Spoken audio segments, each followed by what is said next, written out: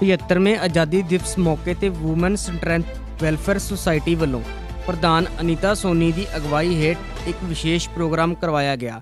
ਇਸ ਮੌਕੇ ਤੇ ਵਾਰਡ ਨੰਬਰ 12 ਦੇ ਐਮਸੀ ਸ਼੍ਰੀ ਅਮਰੀਕ ਚੌਹਾਨ ਨੇ ਮੁੱਖ ਮਹਿਮਾਨ ਵਜੋਂ ਸ਼ਿਰਕਤ ਕੀਤੀ।